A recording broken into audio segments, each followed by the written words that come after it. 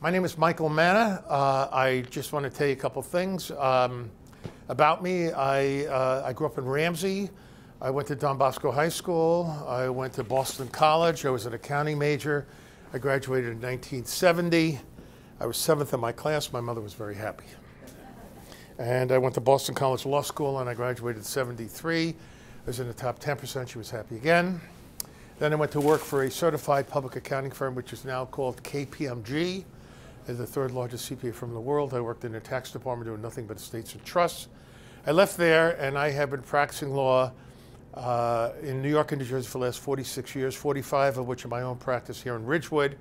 I only do elder law and estate planning. I teach it for the bar to other lawyers. I teach it to certified public accountants. I teach it to social workers. They're all required to have a certain amount of mandatory continuing education. I'm authorized to teach them. And I'm a member of the National Academy of Elder Law Attorneys. There's only 4,000 of us in the country. My suggestion to you is if you're going to hire anybody, you ask them, are they a member of the National Academy of Elder Law Attorneys? Uh, go on their website. It's naela.org. It's naela.org. And uh, that's their website. And um, you can find out if the guy is a member and uh, I always find Googling people for me is uh, terrific. And, uh, and if you Google me, you'll see I have 172 positive reviews. So, you know, don't hesitate to do that. The other thing is uh, my uh, website is www.law for seniors. The four is the number four, not F O R. And if you go there, you will, um, sorry to keep on messing around with this. Uh, you'll, you'll see uh, there's a button that says videos. If you click on that button, uh, it'll take you to a page with about a dozen videos. And uh, one of them is introduction. We'll tell you a little more detail, if you want to hear more detail, about my qualifications. And uh, there's about a dozen others that go into different topics that I think you'll find kind of interesting. Hello, how are you? Hi, how are you? Good, have a seat. Uh, what I did was I made a little handout here. it's really not it's a little informative, not that great, but I'm going to give you all one of these. On the back is, uh, is my website address. And if you take one pass it back, I would appreciate it. Okay, so uh, here are the rules. You have any questions, ask them as you have them because I find people forget them. And, uh, you know, we're going to go through this and I'm going to try to uh, kind of keep it as simplified as possible. And, um, uh, you know, we're going to talk about things. So, so the first thing I, I want to tell you is, and, and this is not, a, we also teach a course, I, I, teach a course here on estate planning. We're not going to go into that tonight uh, because there's really too much material to cover even for just what we're going through. I'm just got to say one thing about taxes, okay? Uh, people, whenever people get ill, they get old, uh, the, the, uh, the big incentive or the big thing people do is they want to get rid of all the assets of the older person, take them out of their names. I just want you to know it could be a disastrous thing if you have assets that have gone up in value. There's something called uh, a, a, step up in cost basis. Grandma bought her house back in 1960 here in Ridgewood. She paid $15,000 for it. Now it's worth 515. If grandma dies owning it and you inherit it, it has a, what's called a step-up cost basis to 515. You turn around and sell it the next day for 515. No capital gains tax. On the other hand, if she gives it to you, you don't get a step-up in cost basis. Now you got her house with her cost of 15,000. You turn around and sell it. Uh, you're going to have a $500,000 capital gain. Capital gains is 20%. Uh, I'm sorry, 15%, but if your income's over 400,000, it's 20. Plus, uh, do not forget, uh, New Jersey has gross income tax of, uh, I think it's 8.9 or 9.3, something like that. So by the time you get done, one's deductible and the other, you're talking about 25% in taxes. Uh, that's 125,000 on that $500,000 house. Right about now, I get uh, the, uh, the, the, the March of the uh, no, actually it's not right now. It's more towards uh, towards the middle of April, beginning of May. I get these people coming in. They're all upset. Their accountant told them they have to come up with 100 something thousand dollars. They sold mom's house. And, and that's because they, you have to look before you leap and you have to get the right information. Same thing goes for stocks. Mom bought IBM uh, 20 years ago for uh, $5 a share. It's worth $100 a share now. Mom owns it when she dies. You inherit it at the value on date of death, $100 a share.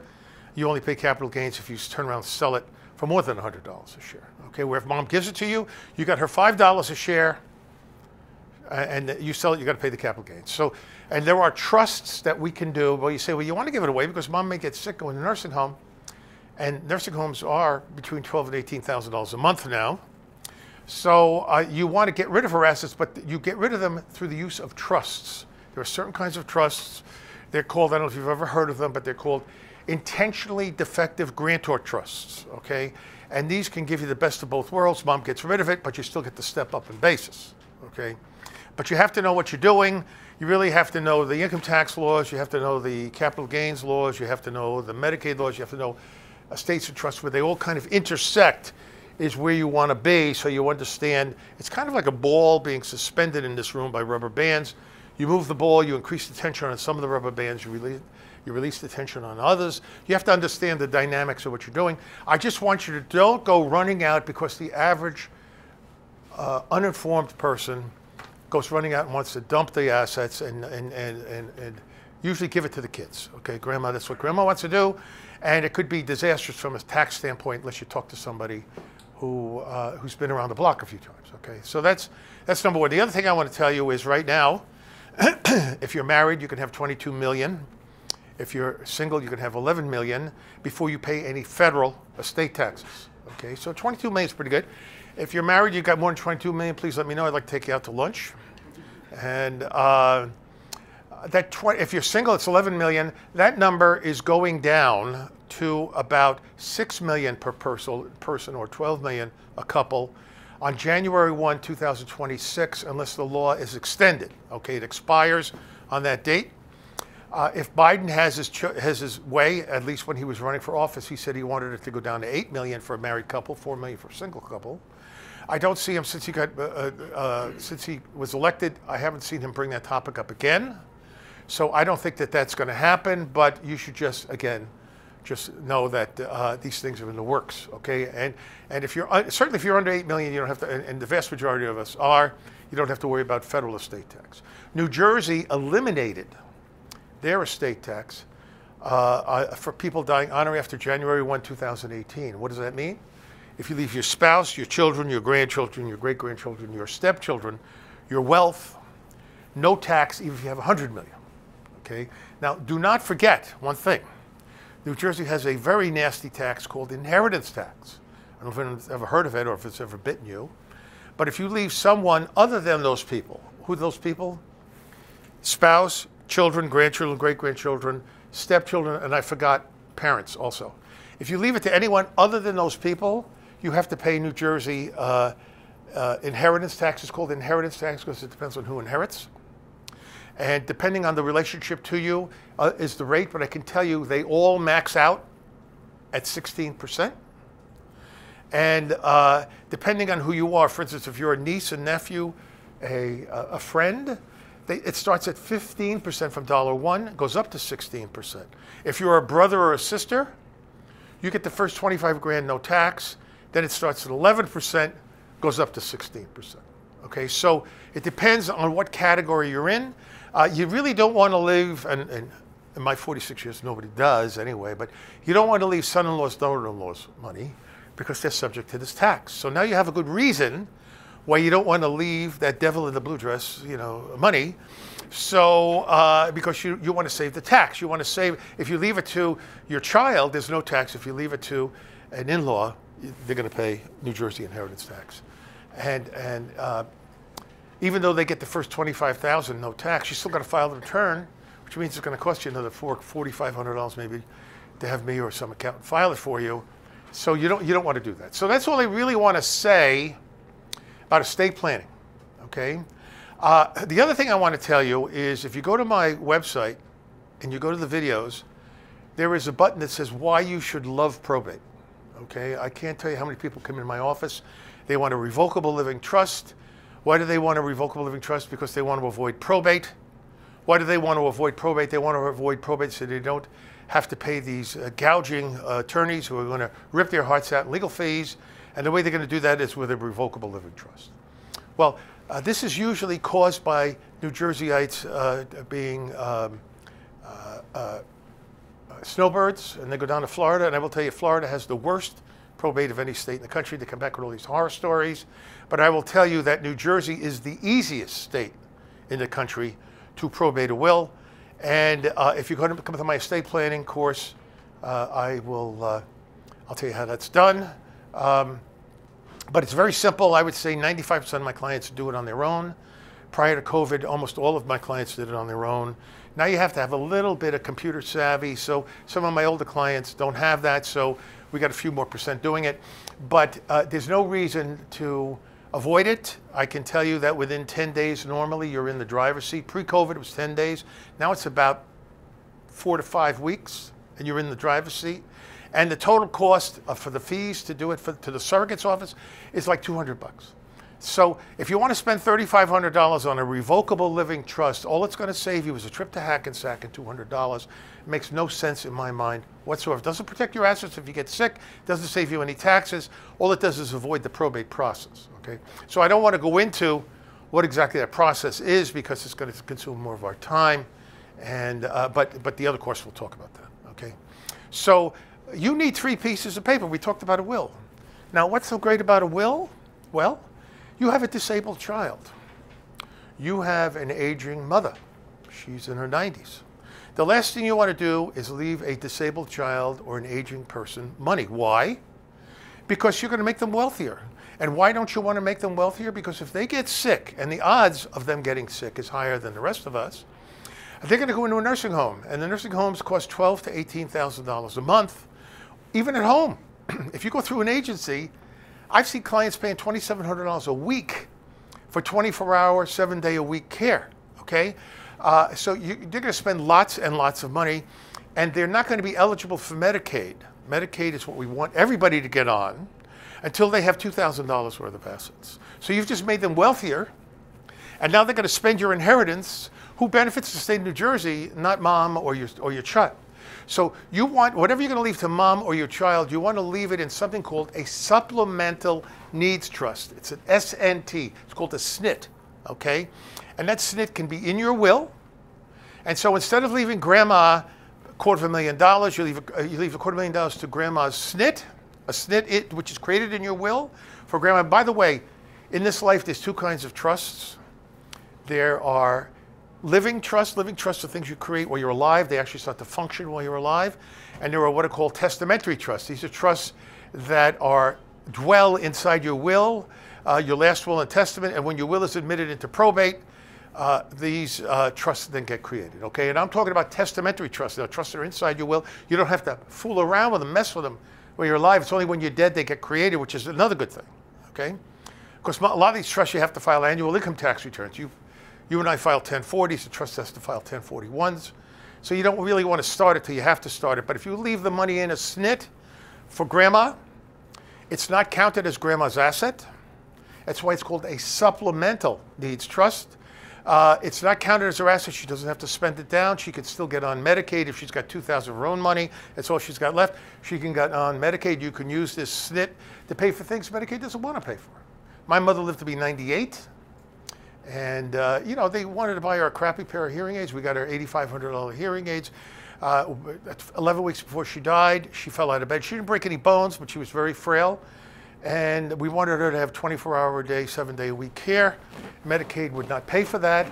Uh, so we went out and got our own uh, caretaker to live in with her, toilet her, bathe her, feed her, dress her, uh, be her companion. Cost us a thousand a week. That's going back 15 years. Uh, but uh, we had plenty of money in her trust to pay for that. And then when she died, no probate, no nothing. All I had to do was write a check to my sister for 260, a check to myself from the trust. So the trust can streamline a bunch of things. And you can have that in your will. You can do that for a disabled spouse. You can do it for a disabled parent. You can do it for a disabled child. And, and so a will can be great. And I hate, uh, not hate, but I dislike when people have bank accounts and they've named beneficiaries of them.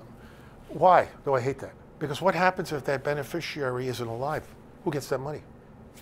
I don't know. Sometimes it's, it's spelled out in the bank's form that you filled out that you may not even know. Uh, you make it payable to a child. The kid's under 18.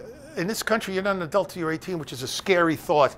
In my mind, an 18 year old running around with a large sum of money, where you could leave it in what I call a minor's trust in your will. And I put them in virtually every will I make, no matter how old you are, how old your children are. I put in a clause that says if anybody's under 25, they don't get it outright, goes in a trust. Uncle Harry's going to be the trustee. He's going to invest the money and he's going to pay, use it for your health, education, living expenses. when you turn 25, whatever's left, you get outright. Now you say, why do I need that? I have 50 year old kids. Well, if one of your kids predeceases you, his share is probably going to go to his children. They may be minors. So all it takes up is a half a page, maybe a page in your will. You know, people go, I want it simple. Simple is code for cheap. Okay? And, uh, and cheap may be fine, but it may not be the best thing. Okay? What you want is right. Okay? And, uh, and so you want trust. You could put these trusts in the wills. Trust can save taxes. They can save, they can save people from going, uh, you know, using it up on Medicaid. They can, they can do it for minor children. There are lots and lots of trusts you can use in wills. So you want to have a will. Hello, how are you? I think you're going to have to sit on someone's lap. No, you can sit here. Have a seat. You have an extra one? Oh, oh, he's got to sign that. Oh, yes, okay. Yeah, could you just tick your name off on here? And I have a handout for you. There you are. Um, so, so will, we, we want to make sure we got a good will, okay? The most important piece of paper, however, is not a will. It is a financial power of attorney. I like what are called general durable powers of attorney. What durable means is that most power, unless you put language in, most powers of attorney cease to function when you become incompetent, which is the whole reason why you did it. So you want to make sure it's durable, that it stays in effect even if you become incompetent. A general power of attorney, the person can use it the minute you sign it. A springing power of attorney, on the other hand, they can only use it if you're cuckoo. This creates a barrier. Now they got to go prove you're cuckoo. Uh, you don't, and I say to people, why do you want to do that? just make it, you want to make it as simple for your daughter to pay your bills as possible. Just sign it. Tomorrow she can start paying it. You, you know, she doesn't have to prove to anybody you did anything. Well, I'm afraid she might take advantage of me. Well, if you have a springing power of attorney, she'll wait till you're sick and then take advantage of you. So what you want to do is choose the right person, not limit what they can do. Okay? And, and I'm going to tell you something that 95% of the lawyers uh, that I, I, I don't know in New Jersey, and I know they don't know because I teach them, okay? And that is there are certain things you cannot do with a power of attorney unless it is specifically authorized in the power of attorney. So if your power of attorney says, I give you the power to do everything, you do not do everything. There are certain things you cannot do. They're called hot powers, okay? You cannot exercise a hot power unless it's in the, your, your power of attorney. What is the most, in hot, the most important hot power? Giving away your assets. We want to make sure, and the first thing I do when people come in is I ask them, do you have a power of attorney? 80% do not. Of the 20% who do, I say, may I see it? The first thing I'm looking for is, if, is there a gifting provision in that? And I would say 95% of them either have none or have some kind of a crippling gifting provision, like you can only give away 10,000 a year, you can only give it away to charities, you can only give it away consistent with my past practices. Well, this guy never gave away anything you know. So you want to make sure you have one that says you can give away as much as you want to whoever you want, including yourself, and you encourage people to do that if it could save taxes, or uh, you know, uh, make you eligible for government programs for your care earlier. Okay, and that's the first. And, and of all the papers, we can correct everything if we have that right paper. But the problem is if you don't have the right paper, and now mom is cuckoo, she cannot sign a new one unless she's competent okay? So now I can't have it corrected. So now what do I have to do? I have to go to court to get court permission to, to have her declared incompetent, have one of the kids appointed her guardian, and, that, and you cannot make gifts of an incompetent person without getting court permission to do that. So now I have to go to court and get court permission. All of this you should be thinking, cha-ching, cha-ching, cha-ching, this is going to cost lots of money okay? So you want to make sure you have your ducks all in a row, uh, and, and the most important duck is, is a financial power of attorney. The third piece of paper is a living will, medical power of attorney, advance directive, medical proxy, whatever you want to call it. This is who's going to make your medical decisions for you. You can get them free at AARP. You can get them at uh, any hospital. We do them for nothing if we're doing your other papers. And um, you may, you know, you, you, you. I, I will tell you this. I have people fuss over the language. The typical one says, if you're terminally ill, or you're permanently unconscious, or you're in a permanent degenerative state, you have an illness that's permanently degenerative, no likelihood of recovery, uh, and you cannot make your own decisions. If you're on life support, you want to be removed. If you're not on it, you don't want to be put on it.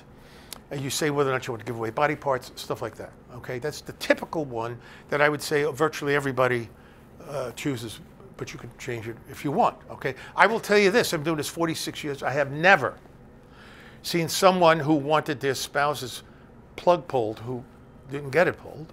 And I've never seen someone who wanted them to stay on not have them stay on. I think, I think the hospitals are more concerned about getting sued than anything else and, and getting paid. Those are the two big concerns they have. Okay, so uh, you know, but you want to make sure you have this because you can only appoint one person at a time, and if you have two kids or somebody who is who they fight, the one wants you to pull the plug, one doesn't, if you have a, uh, a, a, a, medical, I call it a medical power of attorney, uh, that person is a slam dunk is going to make your decision for you. And then you could say, you know, if that person is unavailable, who the alternate would be and who that alternate would be. You know, first, so first Moe, then Larry, then Curly kind of thing. So you, you but those are the three basic documents that you want to have. Okay, does anybody have any questions about this? Okay, all right, so uh, let's talk about about uh, care as you get older. Okay, what are the options? The options are in-home care. Yes, go right ahead. So when you fill this out, then where does it go? Does it go to Fill what out? the medical- the medical power? Are you tell you hold on to all the papers? Yes, and by the way, I do not. A lot of lawyers like to hold on to your will and your power of attorney, the papers they prepared for you, and I think the reason why they want to hold on to the the original is the only thing that counts. If you cannot find the original, it's presumed you destroyed it because you didn't want it anymore. Okay, so photocopies you can have them up the wazoo. They don't count. You need the original. Okay, a lot of lawyers like to keep the original for you. I think they think they keep you from misplacing it, and I think for the most part they do keep you from misplacing it. But I find lawyers misplace them. Lawyers die, lawyers retire, lawyer, law firms break up. Nobody knows where your, your stuff went. So I always tell the clients, you keep them, and make sure you always keep track of where those originals are. Okay. So when you're in that situation, you pull yours out and bring it to the hospital? Right, right. And the other thing I want to tell you is never take the staples out. I had a case once with, with, with someone accused my client of swapping pages. I had to get a forensic paper expert, $30,000, to prove they didn't swap pages. So if you're going to make copies of the original, when you come to my office, we make you, uh, we give you an original and a photocopy. I don't care what you do with the photocopy. You take the staples out, put it through a, a document feeder. But if you're going to make copies from the originals, you want to fold the pages back. Don't take the staples out. Okay, microscopically, they can tell you whether or not it's been, uh, uh, you know, fumbled with. Okay, so um, so so now, what what kind of care do people need? You know, uh, it may be in-home care. Uh, like I said, uh, some people a certain number of hours a week. Uh, sometimes it's 24 hours a day, seven days a week. I don't know if Grandpa weighs 300 pounds. How are you going to get him back and forth to, to bathe him, to toilet him? if you, if you, unless you hire someone also to come by every day who's, you know, uh, Arnold Schwarzenegger to help him uh, do what he's got to do. Um, uh, most people, I will tell you this, and, and I don't blame anybody, most people um, want to stay home. Nobody wants change, okay, especially as you grow older. Everybody wants to stay in their house. I would rather stay in my house. I told my wife I, I, I would like to have, uh, you know, a 24-hour day, seven-day a week caretaker, preferably a 26-year-old, the French maid outfit. but my wife said she thought it'd be difficult to get a man to wear French maid. I said, no, no, not a man, a woman. But I don't think I'm going to get that. But in any event, I would rather be in my house. Okay. Uh, the other option is assisted living. My mother was in assisted living. She kind of loved it, hated. it. She had, she would go through phases. Uh, she was there nine years and I'll tell you about her story a little later on. But uh, that's that's one option. I have seen people in assisted living that, depending on how much assistance they're getting, are paying as much, if not more, than you're in a nursing home. They will kind of nickel and dime you on everything. You know, you want somebody to give you your medicine, it's so much each time you have to go in there. You want somebody to do your laundry, it's so much to do the laundry.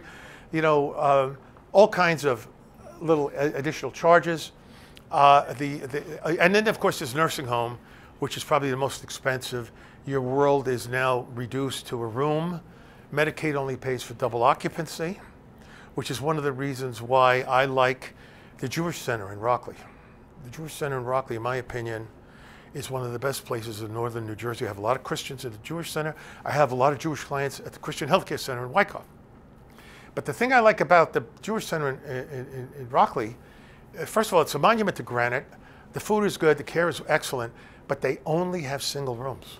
So when you go on Medicaid, you keep your single room. And I don't know about you, but I really don't want some stranger in a corner, you know, moaning away all day long. It'd be nice if I had a single room. So that's one of the reasons why I like it. Uh, the other places you can pay, even if the client's on Medicaid, you can pay an upgrade fee to upgrade them to a single room. Um, however, it's kind of like the Wild West as to how much they want to charge you for the upgrade fee. Uh, what, what, what Medicaid recommends but doesn't enforce is that the difference between retail, what someone would pay for double occupancy, and retail, what someone would pay for single occupancy, the difference is how much you should pay as the, uh, as the upgrade fee. But I've had people, I've had, I've had facilities want to charge whatever Medicaid charges, the difference between that and what the room would send, sell out to a private patient without Medicaid, now we're talking three, four thousand dollars more, maybe five thousand dollars more a month, rather than eleven hundred or something like that. So, so you have to be kind of careful. You have to scout these things out. Nobody knows this, but I'm going to tell you this. Moses, when he came down from Mount Sinai, he had two tablets that had the that had the Ten Commandments, but no one knows he had a third tablet, and that third tablet has the the commandments for elder law planning. And they were chipped right into that thing, okay? But nobody seems to know it. But I'm going to key you in. There's two key commandments. Number one, never, ever, ever, ever, never tell the facilities, the social, the social worker at the hospital, never tell them what mom's assets are. Never. You don't know. Mom is very secretive. You're going to go see her accountant. You get back to them later with, with that. You don't know. Okay?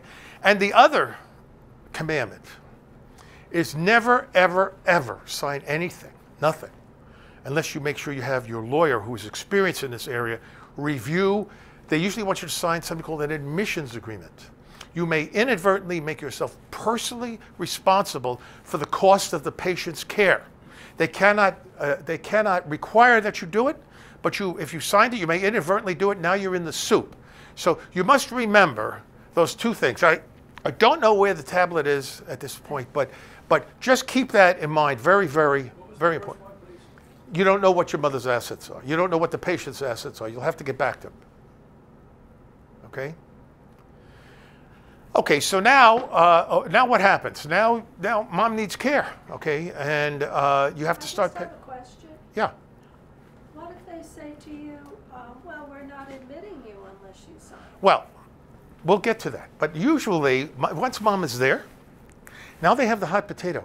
They cannot make what's called an unsafe discharge. It is illegal to do that. So many times, especially if they have a bunch of empty beds, they'll take you in. They'll worry about the details later. Okay. But also the nursing, uh, the hospital. When you're in the hospital, they want to get you out. They want to help place you. So they want to know how much money you have so they can entice different nursing homes to take you. We don't want that because we don't want to give them an idea of how much they're going to make before you're going to go on Medicaid. Because when you go on Medicaid, they make less money.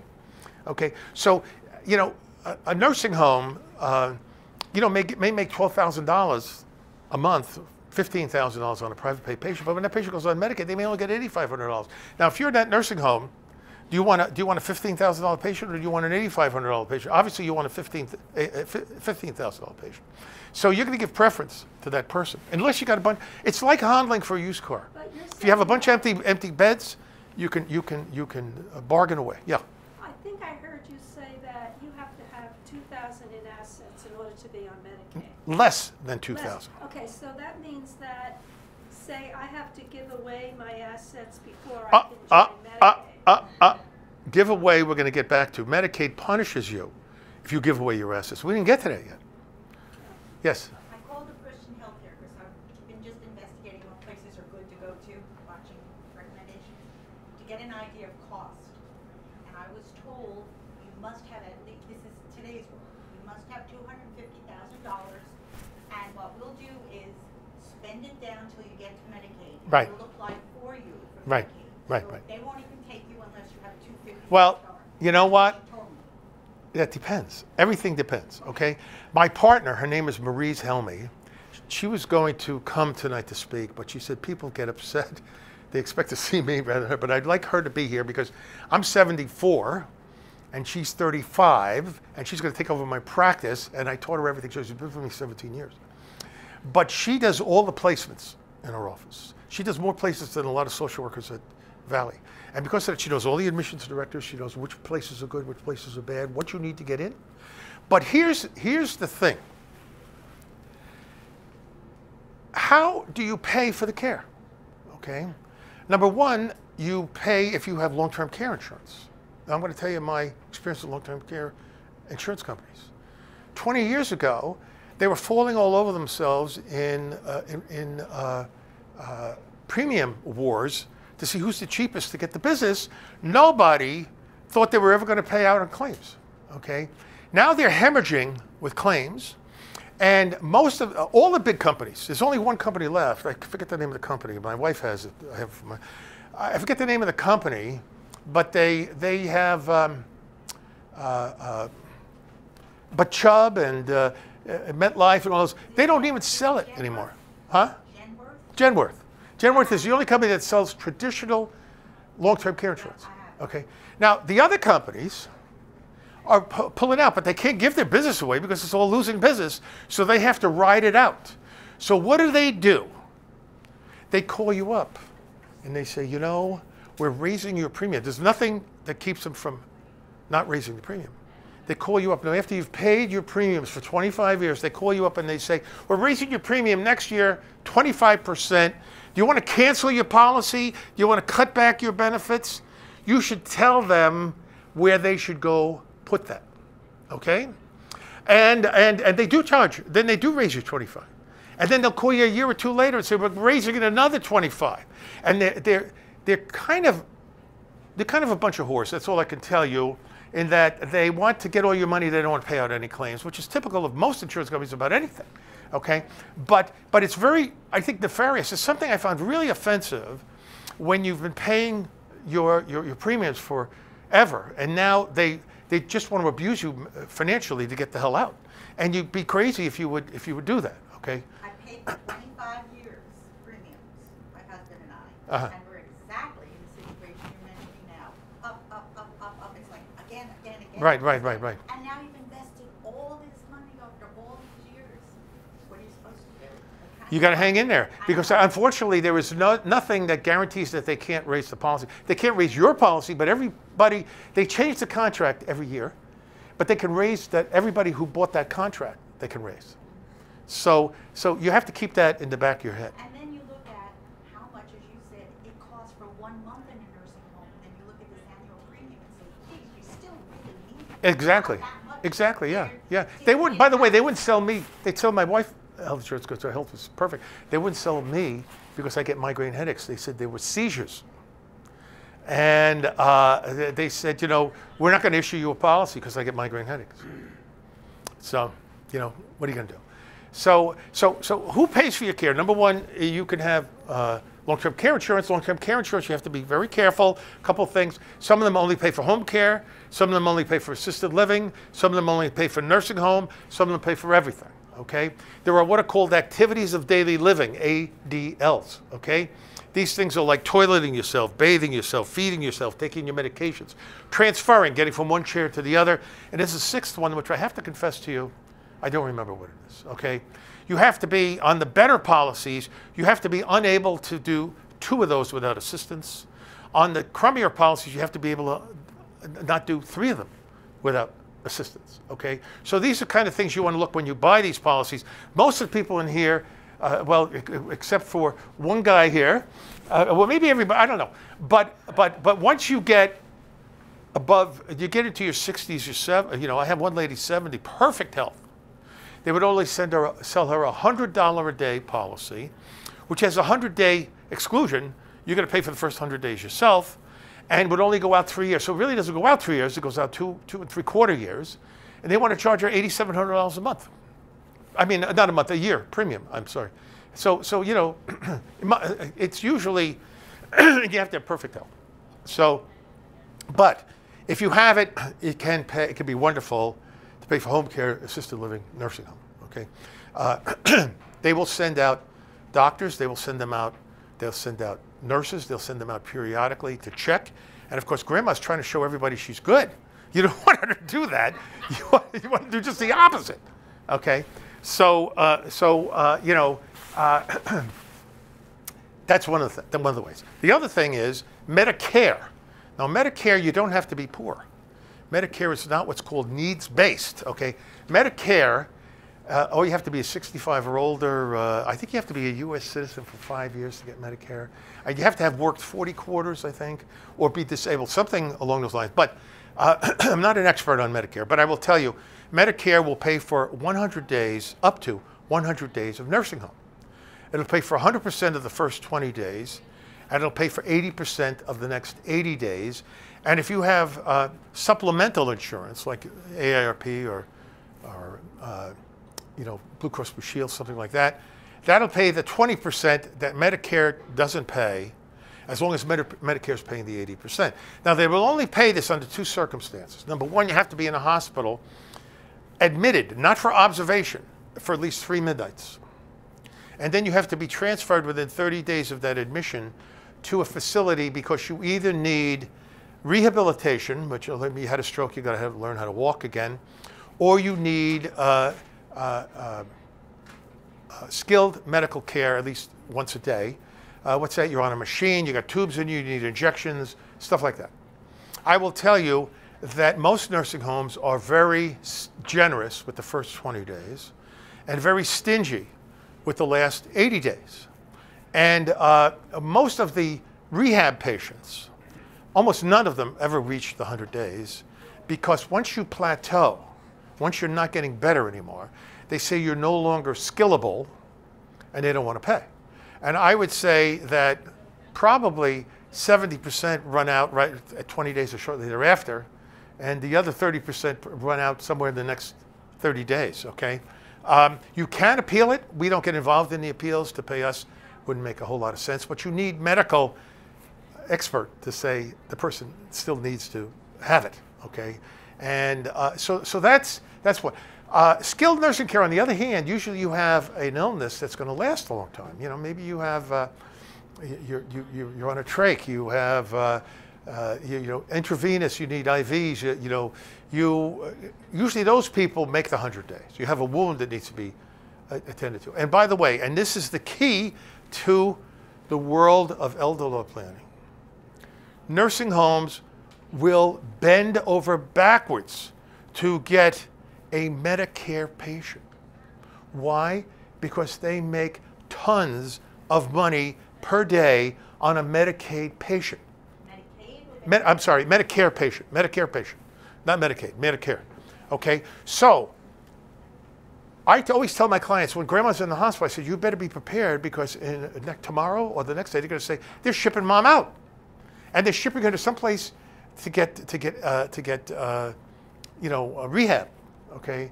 And I said, and you got to be prepared before that happens because you want, number one, want to check the facility out. And number two, you want to make sure that when Medicare runs out, they will take mom as a long-term Medicaid patient. The dirty little secret is nobody wants a Medicaid patient because they make less money on a Medicaid patient, but everybody wants a Medicare patient. So you have to use Medicare as bait to get them into where you want to go. And I have gotten people in with no money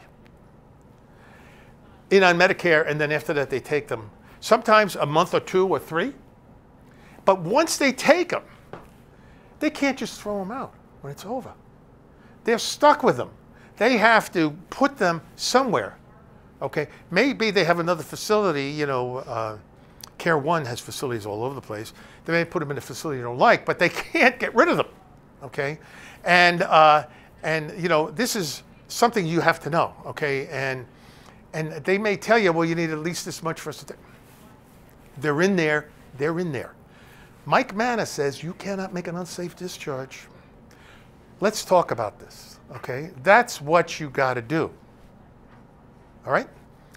Yes? So you're saying Medicare pays for the hundred days, first hundred days, right? No, I, I said up to 100 days is what I said. And after a hundred days, your, your point is you have to, if the person cannot leave, Yeah? saying that they have to keep the patient. Correct. That is correct, 100% correct. And it just charges battery. I don't know what the hell happened. If Yeah. you- If you have a uh, long-term care policy with an period of the, for uh, first ninety days, Yeah, well, the reason for that is because they're hoping you're going to get Medicare. well, that goes in. I Yeah. never that, possibly that, that period could be paid by Medicare. you don't Yes, have to pay those correct. That's right. That's right. in the policy. Correct. And what you want to do is you want to apply for Medicare, I mean Medicaid, while they're still getting Medicare. So that when it runs, so you have a seamless coverage. Okay? And what you want to do is you don't want to do it yourself. You don't want to, you do not want to do it yourself. No, no, but can you apply when you don't have? Can you do what? How can you apply for Medicaid if you're not down to two thousand dollars? Ah, well, that's the whole trick, okay? That's the trick. And we're going to talk about some tricks. And I'm going to tell you that you never, I hate to say never and always, but I'm going to say it. You never have to spend all your money. I don't care if you're already in a nursing home, you have money left. You can always save money, okay? Always. Obviously, the sooner you do something, the more money you can save, but you can always save money, always, okay? Are you talking about bargaining? No, no, no, no. I'm talking about the Medicaid laws.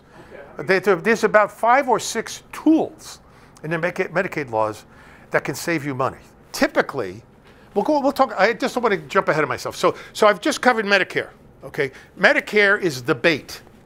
Okay, and of course, then you will privately pay until you are eligible for Medicaid, and you will not be eligible if you are a single person for Medicaid until you have two thousand dollars. Now, if you give away money, Medicaid will punish you. When you go to apply, they have what's called a five year look back. Okay? Well, this is going to be a chewed up thing here. Okay, they have a five year look back. And what they're going to do is they're going to want to see all the patients' um, financial records for the last five years. They're looking for large withdrawals, typically $2,000 or more, unless they see a pattern. But they can go up to 10 cents, okay? And they want to know where, What number are they looking for? 2,000 or more typically, okay? But they can go down. If they see 900, 900, 900, 900, they can look, okay? And what they're looking for is unexplained withdrawals. And if you cannot explain where that money went, they will assume it's presumed to be a gift and they will assess a penalty. Okay? Now they go back and they look at all your five years, and of course, you know, what we do is we look at all your five years first because if there's any warts or there's anything that we want to know before we make your Medicaid application for you. They add it all up and they divide by $10,700 about. They may have just raised it, but it, it was $10,700. And for every time $10,700 goes into what you gave away, they will not pay for one month of your care for the next five years. Okay? So I give you 30,200, uh, uh, uh, I'm sorry, 30,000, $32,100. You divide that by 10,700, it's three. Okay? I give you $32,100. I like you. I give it to you. Okay? You're my, you're, you're my grandson. I want you to go to college. Here it is. Or you're my church. I want you to have it. Churches are not exempt from gifts. Okay? Now, four years later, I have a stroke. I don't have a dime in my pocket. So what has to happen? First, I have to be sick enough. It's called, I have to pass the pass. What is the pass? P-A-S. It's pre-admission screening. I got to be sick enough. And of course, I have to be unable to do two to three of those activities of daily living. And during COVID, they were just doing it via Zoom interviews. They weren't coming out to see you. And, uh, and they were presuming you were eligible medically uh, unless they found otherwise. Now, I don't know, I don't do them in the office. I don't know if they have, uh, they actually come and see you or not. I, I know your doctor can give you a pass, okay? But you have to have, you have to pass the pass. That's number one. So, so I'm in a coma, so I'm sick enough, okay? You have to be poor enough. I only got 10 cents in my pocket, so I got less than $2,000, so I'm poor enough. And then you can say, oh, Manna, what'd you do over the last five years? Oh, we see four years ago, you gave away $32,100. Well, we were going to start paying for you on, on April 1st. But now we're not going to start paying until July 1st because you gave away that money. And we don't care who pays for your nursing home. We don't care if they put you out on the street. We are not going to pay for the next three months. So every time you give away $10,700, it's going to cost you 15 grand at the nursing home. Doesn't make sense to do it. So the key is to minimize, get this person poor without, um, without incurring the penalties. And there are two really, really, really, really good things. And if you go to my website, you'll see the two things. One of them is called half loaf annuity planning. And the other one is called, you guessed it, whole loaf annuity planning. Now, let me give you an example. We have a client, first of all, in order to be Medicaid eligible, the healthy spouse can keep the home as long as it is their primary residence. It can be a $10 million house. Medicaid doesn't care. As long as it's occupied by the healthy spouse as their primary residence, it is what's called an exempt resource. They will not lien it. They will not uh, force you to sell it. It doesn't exist. So the last thing you want to do if dad's in a nursing home and mom's at home is sell a house because you've got this great this great thing to shield the, what that house is worth, the, the, the, equity in that house. So, so the last thing to do is, is not sell the house. So mom, mom stays in the house. Dad can have only $2,000. Mom can keep one half, and by the way, they don't care in whose name the assets are, whether in dad's name or mom's name. They treat you like you're one person. Okay? And because of that, they don't care if you give money back and forth between husband and wife. No penalty for that because they treat you like you're one person. And, you know, I have mom come in and she said, oh, dad got, uh, you know, he got diagnosed with Alzheimer's eight years ago, so I put everything in my name. So what? Doesn't help, okay? Now, uh, it, it, does in one circumstance, but that's only if mom dies and she has the right kind of will disinheriting dad. But, but um, let's not go there right now. Mom can keep one half of their their total wealth. So I have a, I have a, I have a couple, this fictitious couple, they have $332,000, okay? And so dad can keep two, and the most mom could keep, and again, don't hold me to this number. This brings it down to 330. The most mom could keep is 130,000, and they change it periodically. It was 125. I believe it's 130 or a little over, might be 132. For tonight, let's say it's 130. It's called the spousal resource allowance, okay? So she could keep 130,000. That's the maximum. And what it is is half of their assets, but not that half cannot exceed 130,000. And by the way, IRAs, 401ks, they're all in. Okay, whether they're moms, whether they're dads, they're in. So this couple has cash. This is an easy case. So, so dad keeps that, right? Mom keeps this. Now we're left with 200,000 that we have to spend down. Now you let the nursing home make your Medicaid application for you. You will spend it down, okay? They will take it all, okay? But what are you going to do? Well, there's two things I want you to know, and that is the, the healthy spouse's income is irrelevant to the sick spouse's application for Medicaid. Irrelevant. So what mom is going to do is she's going to go out and she's going to buy what is called a short-term immediate annuity. Now what the hell is that? Okay. Okay, so what is that? Okay, so here's what it is. And by the way, there's only two insurance companies in the entire country that will sell you a short-term annuity. Why? MetLife, Chubb, they want to sell you an annuity, but they want you to keep it forever. In fact, if you take it out, some of them in less than 10 years, there's penalties for taking it out. We don't want that. We want to get the money back quick. And there's only two companies in the entire country that will do short-term immediate annuities. So what does that mean? I go up to the I go up to the, uh, to, to the annuity company and I say, "Here's 200 grand. That's mom's money. First, we transferred all the money to mom. Here's 200 grand of mom's money. We want to buy an annuity that's going to pay us back 20,000 a month for 10 months. Okay?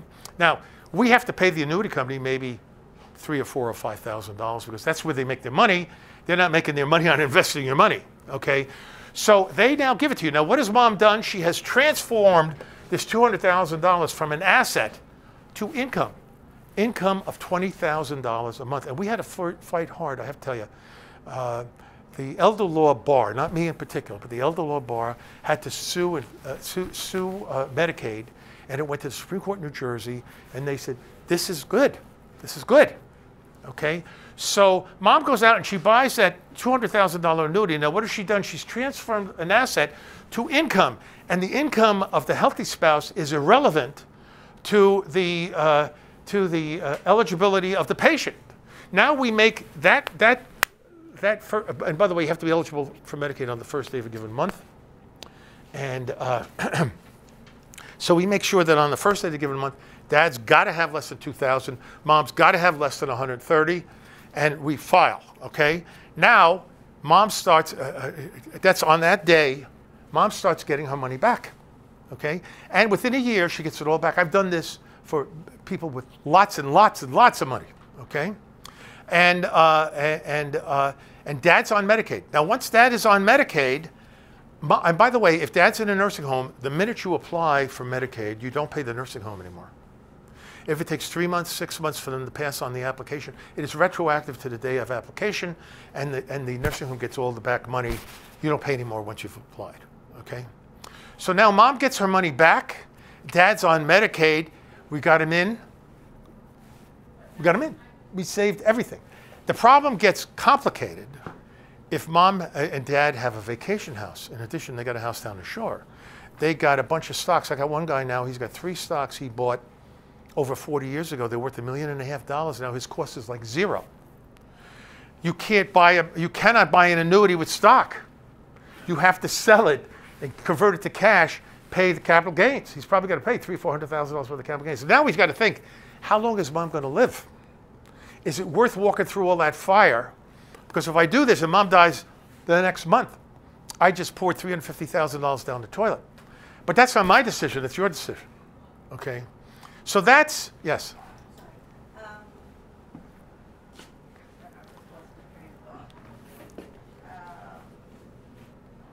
Oh, uh, an IRA.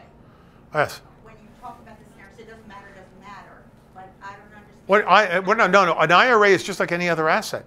It gets factored into this 130. So even though the taxes have been paid on it, it doesn't matter? Doesn't matter. They don't care what fire you have to walk through. They don't care what you have to pay. They don't care what you have to do. You have to first pay before you're eligible for Medicaid. Now, if the patient has a hundred thousand dollar IRA, he can only have assets of one two thousand. We got to cash that in And pay the taxes? and pay the taxes on it, and give it to mom and have her go buy an annuity. Got it. You know? Okay.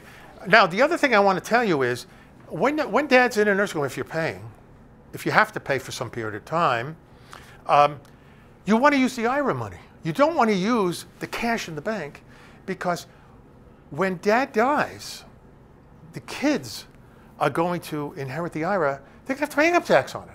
Where if you use the IRA up to pay for the nursing home, you get a medical deduction for what you pay the nursing home. Is going to, and, and this is this is taxable income, but the medical deduction is going to offset most, if not all, of the tax for pulling the IRA out. And so it's it's if you got it, you'd have, maybe have to pay 40%, 40 percent in taxes between federal and state. So it's like paying mom's uh, or dad's medical expenses with 60 cent dollars. So the knee jerk thing is always use up the cash first, the IRA last. Usually, and again, these are just, I'm, I'm, I'm just making generalizations. Usually, you want to use up the IRA money first. And you, want, you need a good accountant uh, to, to, to, to, to pace it out how we're going to do this, okay? So that, that's the, that's the whole loaf, okay? Now, what the heck is a half loaf? The half loaf is for a single person, okay? So now, how, what do we do with a half loaf? Well, I'm going to make another uh, uh, simple example. And again, this is up on my website. You can look it up, half loaf. We got a client with $100,000. Now, for purposes uh, in assets, okay? Now, for purposes of our discussion here today, he's got no monthly income. I just don't want to mess up the numbers. He's got no, no pension, no Social Security. All he's got is 100,000. And let's assume, even though the actual number is 10,700 or thereabouts, that every time you give away 10,000, the nursing home's not, I mean, Medicaid's not going to pay for one month. Are we talking Medicaid or Medicare? Medicaid. Medicaid. Medicaid. Medicare doesn't matter. They pay or they don't. You don't have to be poor. Okay. So we got a guy with 100 grand. He's in a nursing home that costs $10,000 a month. And every time you give away 10,000, uh, Medicaid's not going to pay for one month of your care. So what does he do? He goes and he gives Sonny Boy $50,000. Now you cannot apply for Medicaid until you have less than $2,000. So what does he do with the other 50? He goes out, you guessed it, he buys a short-term annuity, short-term annuity, okay? And that annuity is going to pay back 10 grand a month for 5 months, 5 months. Okay? Everybody with me? So now we apply for Medicaid. Medicaid goes, what we're looking for is what's called a but-for denial. That means everything's in order, except we saw you gave Junior 50,000. And because we saw you give Junior 50,000, we are going to issue a five-month penalty period. Now, who is going to pay for Dad's nursing home for those five months? This annuity is going to pay back 10,000 a month for five months. When the five months are up, the annuity has fully paid back. The five-month penalty period is up. Dad is on Medicaid. Junior has 50 grand in his pocket. Okay? Now, there are other things, and I don't want to get bogged down because we're kind of getting close to the end here, and I see a couple of people falling asleep here. Uh, but uh, there's something called the child caretaker exception. You have a child who lives in the house, and for two years has been taking care of mom, and without mom's care, mom would have been on Medicaid two years earlier. Mom can give the house to the child no penalty. Okay? There is the sibling exception. You have two brothers living in a house. They've both owned it and lived in it for at least a year. One brother can give the other brother his share, no penalty.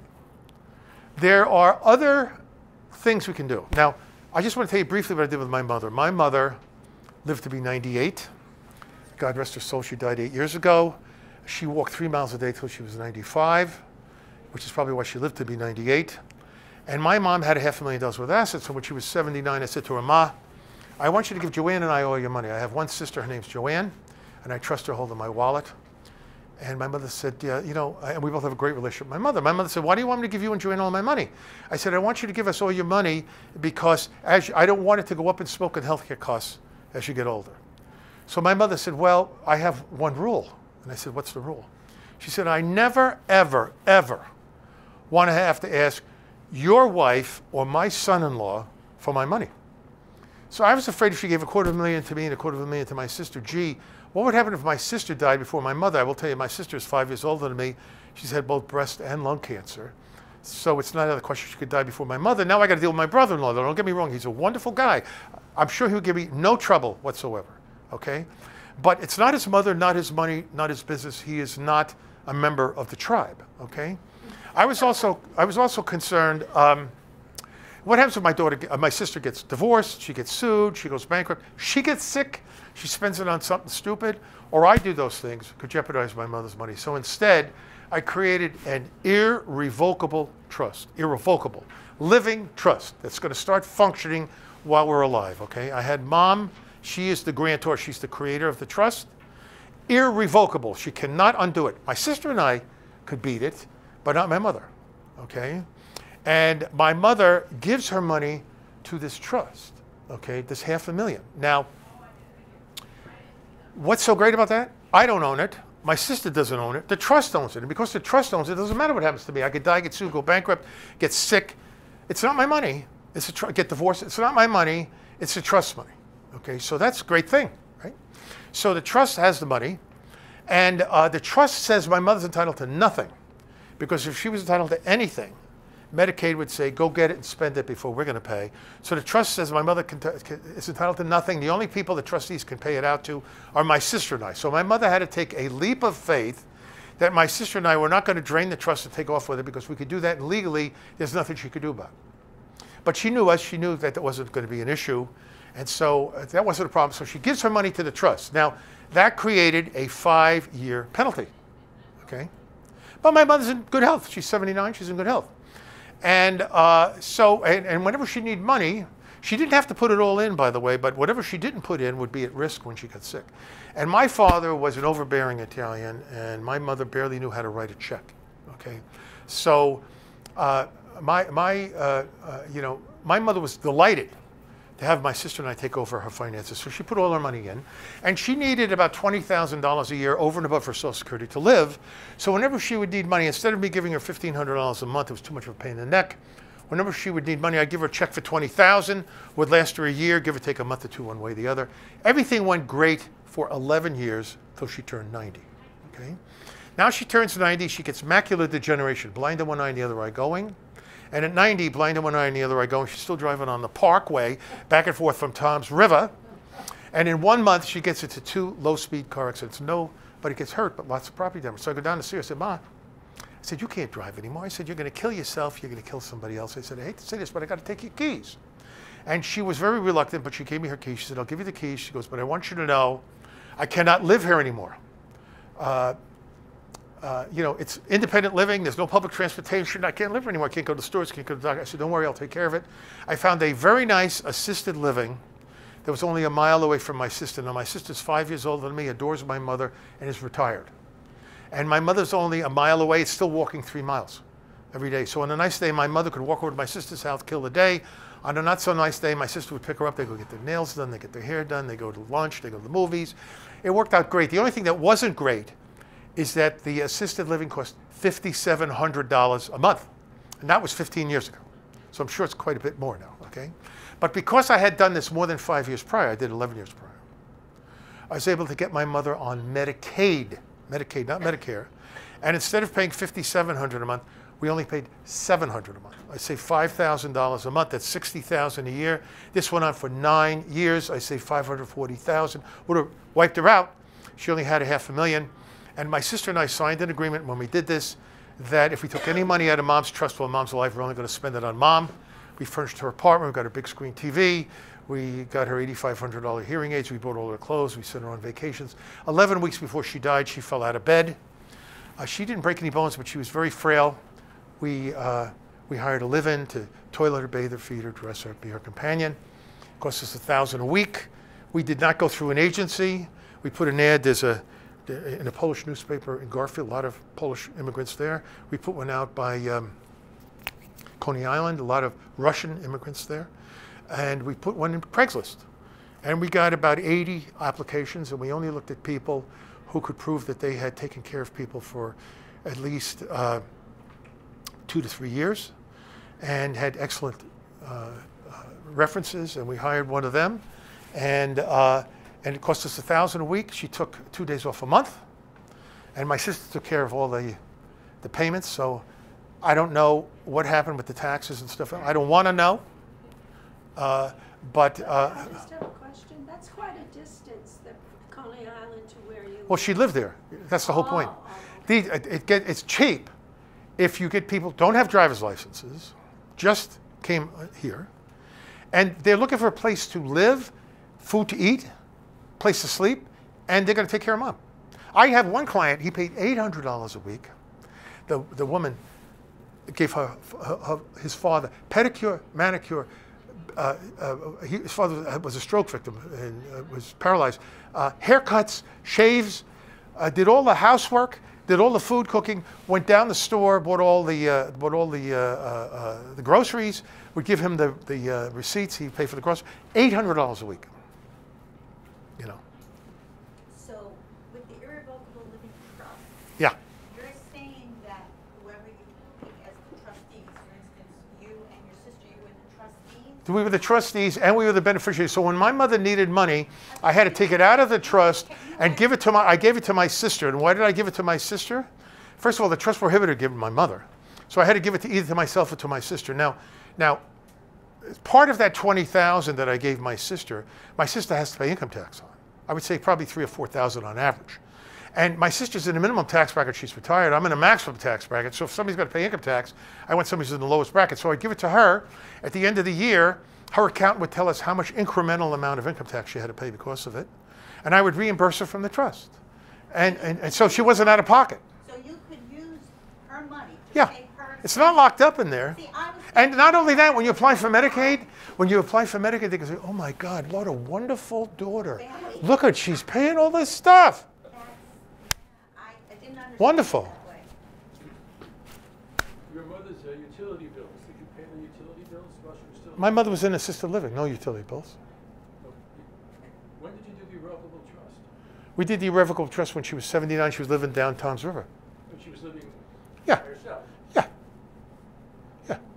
So we gave her money and she paid her utilities, she paid, she paid the maintenance, whatever, yeah. She paid for Yeah, it by herself. correct. So Right. you could still give her the money. You could give her the money, yeah. Anybody else have any questions? Because I'm kind of running out of time. One, yes, That you can tap the money that's in an irrevocable trust as being the beneficiary. can I what? You tapped the money. I could steal it all. I could have stolen it all. My mother had to trust in me. The other thing I want to tell you is you can do anything with the with the with the trust. Um, you can invest in stocks, bonds, buy properties, real estate, anything. You can put a house in the trust. Well, the nice thing about putting a house in the trust is that you still get that half a million dollar capital gain if the house gets sold before mom dies. A lot of lawyers like to give mom a life estate and give you what's called the remainder. What's a life estate? It's the right to live in it for the rest of her life. You can't throw her out. They're afraid they're going to get sued for malpractice for uh, if, if, if you throw her out. But if you sell that house before mom dies, big, big tax problems. Okay? So you could put it into a, an intentionally defective grantor trust. If mom sells it while she's alive and she, her husband's still around, if they qualify, they could still get the half a million dollar capital gains exclusion. Otherwise, if she's single, she can get a $250,000 capital gains exclusion. If she doesn't sell it till she passes, you'll still get the step up in cost basis. That's one kind of a flavor of intentionally defective trust. Another, and you don't get that if you give it to kids. Okay? The other, the other flavor is, is for stocks and bonds. You put those in there. As long as they're there when mom dies, you get the step up in cost basis. So we want to put, we want to have two different kinds because the reporting, we don't want any information to bleed back onto mom's tax return. Why? Because 20 years from now, there's only a five-year look back, but 20 years from now, we go apply for Medicaid. They want to see mom's five years of tax returns. So that's the tax return from year 15 to year 20. And they say, wait a minute. You know, mom could deduct the property taxes under the IRS rules for this trust that she puts her house, so she could still do it. But you know, I always tell the clients, there's a point, you know, where hogs become pigs and pigs get slaughtered. And I said, you know, you don't want anything leaning back because 20 years from now, we go to Medicaid, we give them the tax returns. Go, wait a minute, you said mom doesn't own any real estate. Why is she taking a property tax deduction? Now we got to show them the the the uh, uh, the tax return, okay? And uh, and they they don't know what to do with them. They kick them down to Trenton. I've had people, I've had clients waiting a year, 18 months before Trenton okays the trust, you know. But you have this holdup. So I tell them, do not take the tax deduction. Plus, a single person now, I think you get a $27,000 standard deduction anyway. So and you can only deduct $10,000 anyway of, of property taxes. So, so it's not a big deal, you know. And, uh, and so that's kind of it. Anybody else have any I have questions? a question. With the irre- irrevocable trust, is there a minimum or a maximum of how much money you can put? No, there's no minimum or maximum. The only thing is it has to file, depending on the kind of trust, it may have to file an income tax return every year. And you probably, if you have an account it, it's probably going to cost you 800 to $1,200 to file it. So you don't want to put, you know, $10,000 in one of them. Plus, you got to pay us to do it, okay? Yes. All right, I'm gonna speak very personally, if you don't mind. I'm seventy-one years old, I'm retired. Yeah, I'm straight. I want you to know I'm straight now.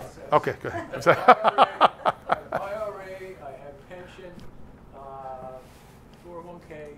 My son is 37, he's single. Right, I'm single. right, I'm 71. right. I'm 74. Are we, are you saying I should put everything into a irrevocable trust now? You cannot put your retirement benefits in unless you pull them out and pay all the income tax on it. But yes, I'm saying you should do it five years before you get sick. And most people don't want to do it because they don't want to give up control to the knucklehead kids. That's the big. That's the thing that holds them all back. Okay. Uh, okay, let me ask you a couple- Am I right or am I wrong? okay, the answer is here's what I want to tell you. It's our office policy. If you guys want to come in and see me, our office policy is the first visit is for free. Okay, you have my, my, my handout. It has my name, address, phone number on there. If you call my office, they will set you up, usually with a phone conference or a Zoom for the first meeting. Okay, I have an office in Boston too, and I spend time up there but I can see you via phone or Zoom no matter where I am. One of the nice things about COVID is I can practice law now pretty much anywhere on the planet. And, and I'd be more than happy to, to talk to you for nothing. What we do is the hours for free. I get some personal information from you. I give you some recommendations as to what I think you should, you should do. We do most of these things, I would say 98% of these things on a flat fee basis. I would then prepare a, a, a written fee agreement telling you exactly what we're going to do, exactly what's going to cost, give it to you. There's no obligation. You don't have to do anything. You want to do it, you sign it, you send it back with a check, and we get going. If not, it was nice meeting you. Okay? Thank you. All right, so listen, thank you for coming, and uh, you all better wake up now. Well, you were snoozing there, I thought.